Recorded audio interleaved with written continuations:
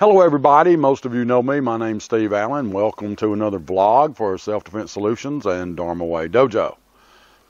Hey, today I'm right here by myself because I want to talk about something that's very, very important in the practice of your internal martial arts, whether you're doing whatever internal martial art it is. As you know, here at Dharma Way Dojo and Self-Defense Solutions, uh, we have private classes and small groups and you can learn at your own pace. You can pick the arts you want to learn. You can just learn pure self-defense. We have certifications. There's five levels of self-defense.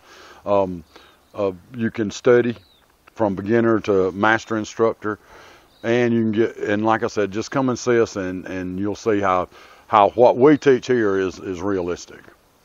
Our emphasis is on self-protection. It's not on sparring. It's it's not on any of those things. we do a lot of forms, but the form work is to help you to understand the self-defense applications from that form work. And today, when you're talking about internal martial arts, and you need to know the difference between internal and external martial arts, and and so that's not hard to figure out or look up. But uh, today we're talking about either Tai Chi, Bagua, or Xingyi, which we teach here.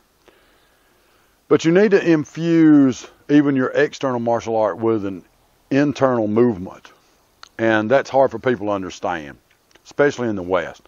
So what I'm going to talk about just for a minute is the the Dantian or elixir field, field, elixir field. It corresponds to an acupuncture point. As many of you know, I, I used to lecture Chinese medicine and, and written about Chinese medicine and practice it here too. It is approximately three four cun, I'm sorry, four cun, below, that's a measurement, below your navel. So if you take your fingers like this with your index finger and you put your index finger right at the lower part of your navel, where your little finger comes will be conception vessel 4 in acupuncture, often called Guan Yuan, which means gateway of origin. So by gateway of origin, we're talking about where you would go into a a garden-like area. It's it's where everything is woven, where everything originates, where everything spreads out all over the body. And in actuality, it's the balance point of the body. So half your weight's below it, half your weight is above it. So in your mind, you know, even in a lot of martial internal martial arts movement, they talk about sinking the chi to the dantian. That sounds very esoteric, but what does it actually mean? Well, what it means is you want to put your awareness and the origin of all your movements there. That all of your joints move because the dantian first moved. So you don't do this and nothing else happens in the body. It's starting here. See? If I step out in Bagua to do a posture to do that first, to walk the circle, say I'm going to lift the cauldron and then move into dragon stretches its claws, I just don't take my arms and flap them over here. I have to sink my body at the dantian. That causes a chain reaction within within the body, within all the parts of the body, the muscles, the bones, the tendons, the ligaments, everything. And and your E or your intent is to allow this to be symmetrical and to learn what that feels like. I have so many new students that start out and, and you tell them to step and they look at their feet. But normally in the day's time you don't look at your feet to walk. You you can feel your feet. Often tell the students that when you go to bed at night, you don't have to check to see if your feet left you in the in the nine or something. They're always on the on the bottom of your ankles, you know, below your ankles. So you have to feel that they're there. Part of learning how to defend yourself in the martial arts is to learn how to feel and then allow conditioned responses that you've already created within your body mind matrix to take over. So there's no thought. I often tell the students to say you have to think with your nervous system and feel with your mind. Instead of think with your mind and feel with your body, you actually think with your body or your nervous system and you um, feel with your mind so that the mind and body become one. They, they become like you're, you're uh, like making tea. You know, where's the tea? Where's the water? You know. So you become infused with that feeling and conditioned response. And it starts here at Guan Yuan, gateway of origin. So that's pretty self-explanatory if you think about it. But you can't allow it to tense your muscles. So a lot of people move in such a way that they're tense all the time, uh, every day, and they don't know what non-tension feels like. That's why you have certain standing postures. And and I teach a lot of um, say standing postures from each one, and you also have a standing posture in Xingyi. And a lot of the students that come and they start doing that Santi Shi standing posture, they're really out of balance and they're really tense. So you have to go inside your mind and and let go of that tension and let it fall down keep falling down through the dantian, and then at your crotch you have to make an archway. Okay, just like a gateway, you have to make an archway. Why is that? Because it's hard to it's hard to balance on a pyramid. It's hard to balance like this. You, you need an arch. So that's what sinking is about. And now you don't bounce up and down off of that. That's very important. So you want to take your dantian, if you're going to walk the circle, for instance, you would take your dantian and push it forward. It's always rolling too on its own axis. You have to use your imagination in that way. You have to use your visualization. I often picture a ball here, sitting in here, right under the center line from the crown of the head to the tip of the coccyx, called in Chinese the Wailu. So what you're doing is you're you're actually sitting down so that when I sink, say if I sink, I don't sink like this. Okay? If if I sink down, I sink where the the tailbone comes under like this. Then that aligns with the crown of the head as I pull the chin back. As the classics say, lift the head or lift the crown or, or lift the spirit to the gate of vitality of um, the Baihui point, which is the hundred meetings point. It's the it's the meeting point of all the yang channels in the body, and it happens right here. So if you drew a, a line from this ear to this ear, and then a straight line this way, where they met would be Baihui, hundred meetings as that's called. And so you learn to align your Wailu and your Baihui and that causes your spine to have to bend. So a lot of people get mixed up with like, what does it mean by straight spine? So they just hold themselves stiff, you know, like the straight spine, and they move around like Frankenstein. But that's not what you're supposed to do. What you're supposed to do is allow all the parts that move naturally to move naturally like they're designed to be moved. So if I'm sinking, you can see that the spine bends like this. The tailbone is here, the crown of the head is here, and they create a plumb line. Just like if you're drawing a, a bow and arrow, there's still a plumb line on the bow itself. The string is what bends. Your spine is the string. See? But it's not out like this. It's not bent over. It's not any of those things.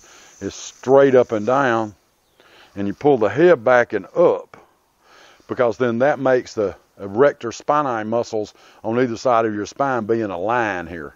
If you do this, you're crimping it. So you, you sink down and you go crimp, you know. A lot of people do that, don't do it. It's down like this. And then you hollow the chest. Well, if you sink the dantian and curve the Wailu point and align it with the Baihui point, then you'll have a hollow chest.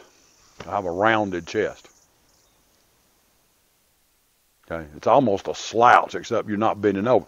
Because the moment you take your Dantian and flip it over one of your legs like this, you've locked up your back muscles, and that's tension, and you want no tension. You want to take the volition of movement out of every part of your body except your dantian. Then you visualize. In Bagua, I often have my students visualize that they're in a tube. Okay? So that if I came out this way, I'd hit the tube this way, and you see how I'm rounding this way? And then I hit the tube here, and every time I hit an object or hit something that's stationary, the Dantian rolls, which causes rolls through all the joints, which cause them to actually make the change, and Bagua is about change. It causes them to make the change. So when I come over here like this and I hit this tube, you see that I, it's done this now. See? see how I'm circular all the time?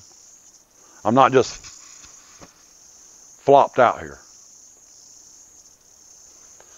So that if I encounter an opponent, I'm not blocking them or if I touch them, I, I create a, a circle.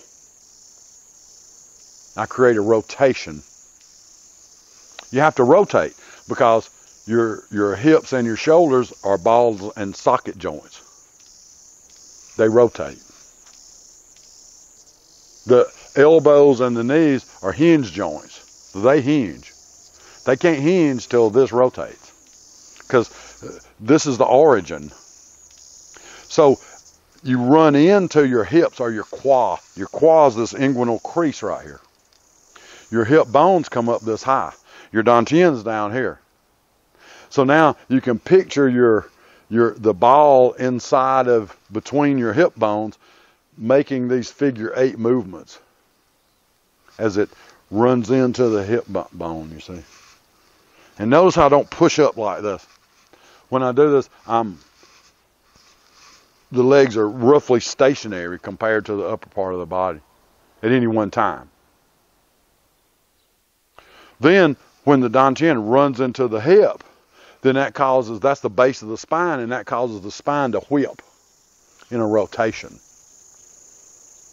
It's within Xingyi too. A lot of people don't even understand that in Xingyi. But in Xingyi, it's the same thing. You're doing a spiral within the body.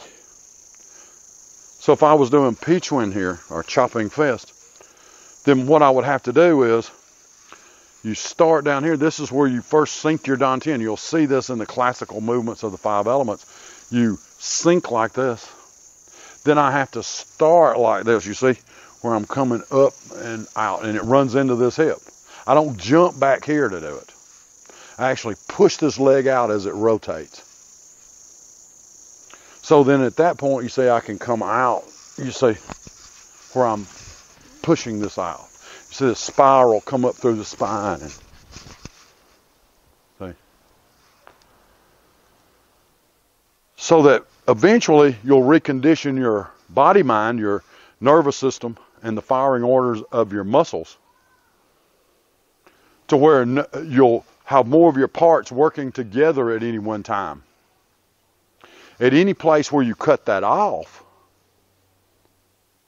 okay, is where the chi stops.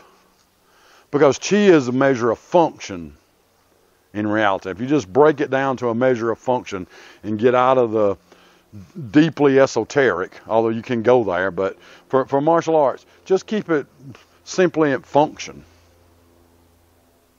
There's the body, mind, and spirit, but you're never going to understand the, the spirit until you unify the body mind. Okay, so you everything that you're talking about within that esoteric chi mechanism has to be felt. It has to be experienced. It can't just be intellectualized. It has to be brought upon into the, the, the physical plane and demonstrated. You know, uh, one, my, one of my first teachers would talk about when you're doing a form, I want to see the spirit of it. See, because you don't, you, you can see, the, uh, a real master can see the spirit of your form. You see, in the way you do it. He, he can see your mental attitude. He can see your, the control you have of your body. Because if you're controlling your body, you're controlling your mind. If you're controlling your body and your mind, then you're allowing your spirit to penetrate the body mind matrix.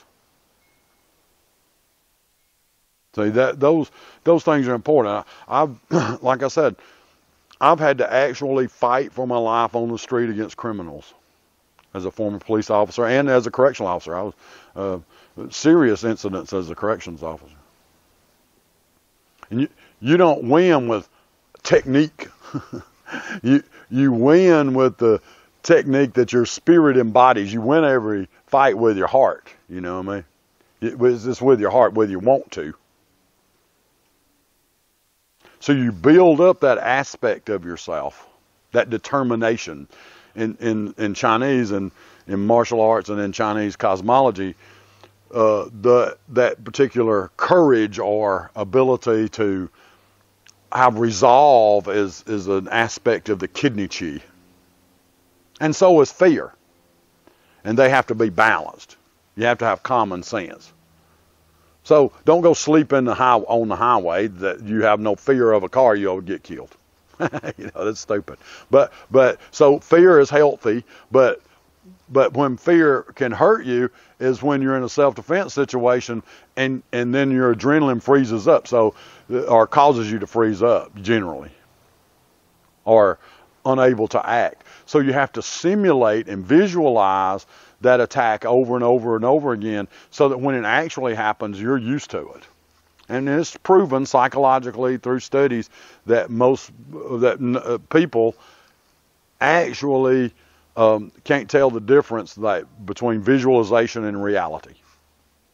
And it's true. Um, think about how you suspend uh, disbelief when you watch a horror movie or something.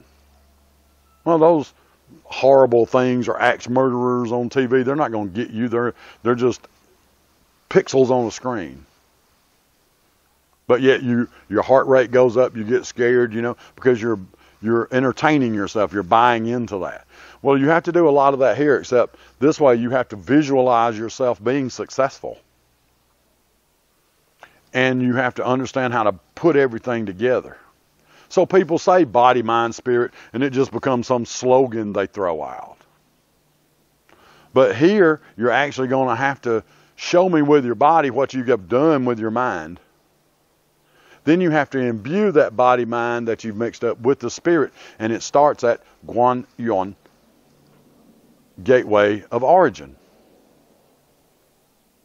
at the lower elixir field, Dan Tian. And so when you come here for lessons, we, will start with that. We'll, we'll teach you depending on what you want to learn. We'll start with that, but every movement's coming out of this. It's rotating, it's dropping. In Tai Chi, for instance, you you start with sinking the chi to the dantian. You start with that. Then you move to Pong Lu Ji An. After that, you have um, this Pong Lu Ji An Sai Liu What they're talking about there is that if I sink my chi to the dantian, then my intent allows me to align. The, the dantian's rolling on its axis like this as it falls. Then you see how, and then when it stops, the knees stop, and the and the uh, rule is they have to you have to have some kind of arbitrary rules, or you have no freedom. You know, too many rules, no freedom. Too much freedom, chaos. There, there's got to be balance, as the Buddha said, the middle way. So when you sink and your spine rolls like this, you're saying you're coming up like this. See? Then what you're actually doing is you're rotating the spine in such a way that you can you'll start to actually feel how the spine moves. Then when it hits here, the goal is to keep that movement going. When you start Tai Chi, for instance, you split Wu Chi. The Wu Chi is when yin and yang are together, undifferentiated. You take your yin and yang out, you split Wu Chi, you create yin and yang, you exercise that yin and yang, and once you do that, you, you make them in balance, and then at the end of the form, you bring them back together. That's what you should visualize. But what you see is most people get in a form, they stop, and they move over here and they stop. That means there's no flow, there's no constant flow. You don't want to stop the flow from the dantian. It never really stops. You just take, you just split it, exercise yin and yang, and bring them back together so that they can exist in harmony with each other.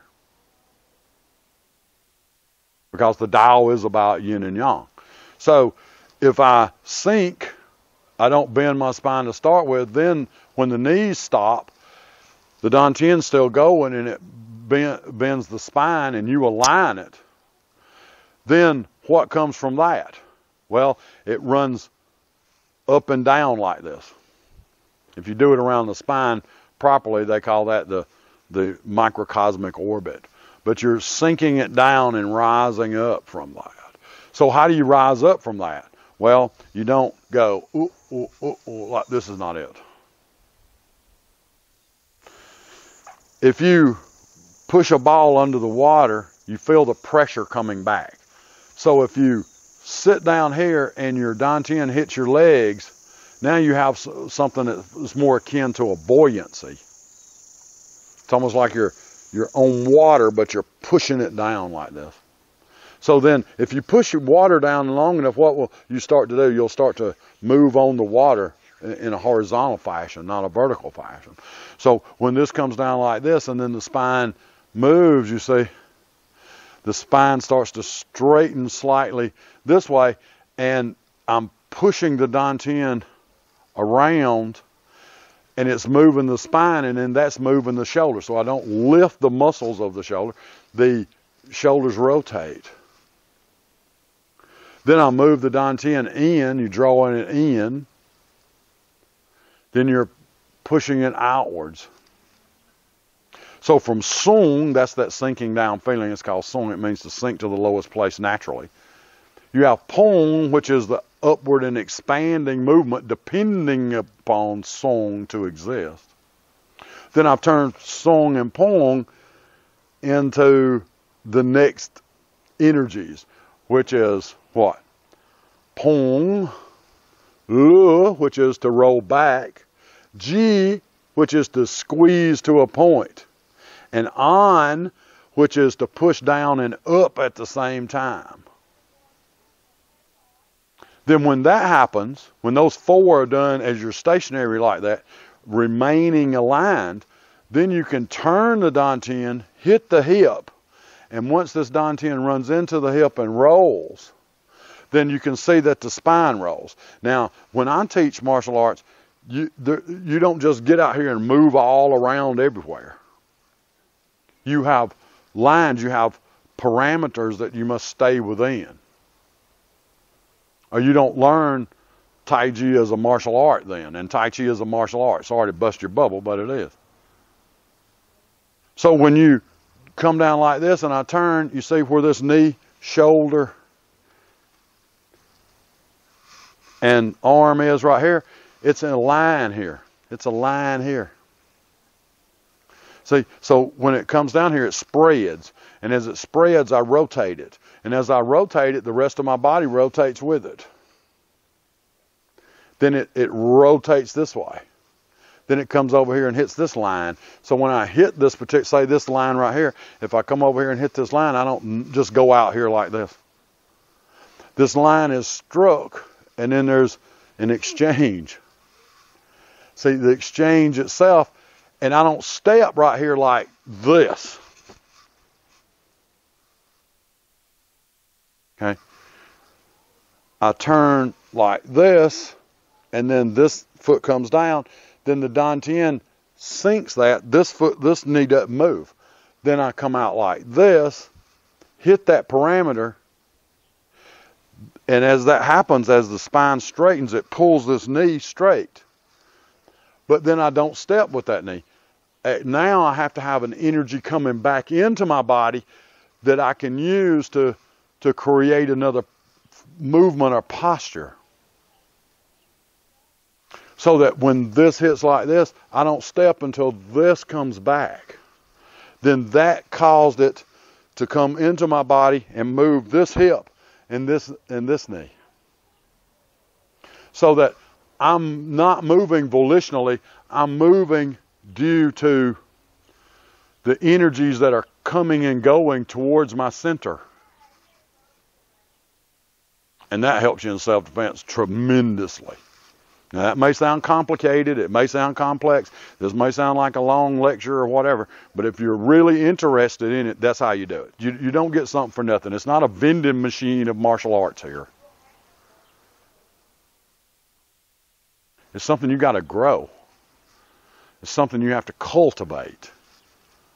That's why you study martial arts to start with, for self cultivation. If you don't have the sauce or wherewithal or oomph to do that, then, you know, go somewhere else and you'll just run around an ego trip all day. But the but the but you're not doing anything. You're you're not causing a change to happen in your body mind matrix, in your nervous system, in the conditioned responses you make, which in actuality affects your mind. It affects your personality. It affects everything about you. You'll have more confidence. But it won't be a false confidence. Because you know. It's one thing to believe, it's another thing to know. Do you believe because you had to convince yourself to believe, or do you know? And when you know, you have evidence. Physical, palpable, visceral evidence. And and if you get a black belt status here, and believe me, it's not necessarily easy to do it, but you'll have evidence that you can do it, you'll have confidence that you can do it, and you'll know that you can do it. So I'm not giving you a black belt learning a, getting a black belt here is the same as being confirmed about something you already know. It's like a rubber stamp. So you already know it, so good, I'll rubber stamp it because you can prove to me that you know it. That you don't just have to falsely believe. It's not a cult. Okay? So that's very important. Thank you for your time. Thanks for visiting our blog. Stay tuned and watch um, uh, this website and get a lot more tips on the martial arts. And hey, give me a call, write me an email, whatever you want to do to discuss it. I'll be glad to answer any questions. And you can come over and get two free lessons, and I think you'll enjoy it. And I'll see you inside the dojo.